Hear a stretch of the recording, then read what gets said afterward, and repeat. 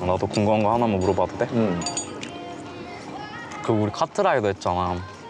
근데 왜 1등 했을 때 혁준이 형을 왜 선택했었어? 그냥 궁금해서 단순하게. 어, 아무 사이도 아닌데 내가 함부로 창민이 형한테 그 이런 질문을 해도 될까? 솔직히 지금도 확실치가 않아서 그 1등을 딱 하고 이제 이름을 적으려는데 뒤에 이제 각자 뭐 너가 그때 너무 완강하게 1인실을 쓰고 싶어 하는 것 같아서 너를 선택하려고 했거든? 내가 데려가면 좀 1인실을 이렇게 쓰고 싶어 하는데 어, 그래서 2인실과 차선인 혁준이 형을 적은 것 같아. 음.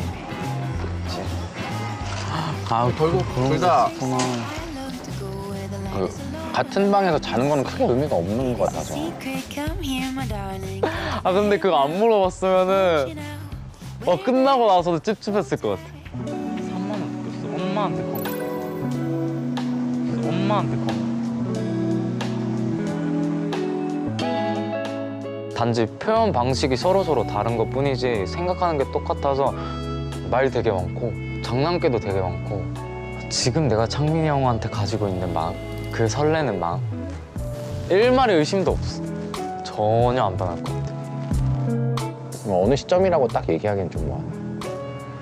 아마 처음 들어와서 같이 소파에 앉아가지고 정현이가 가운데쯤 앉아가지고 좀 이렇게 대화를 주도해 나가더라고. 형 어디? 아 그럼 형이 억울할 수도 있잖아 처음에는 조금 애가 아, 좀 부담감에 저러나 약간 그런 마음이었는데 원래 그게 성격이었고 그런 점이 저랑 다르다는 거에서 호감을 느꼈던 것 같아요.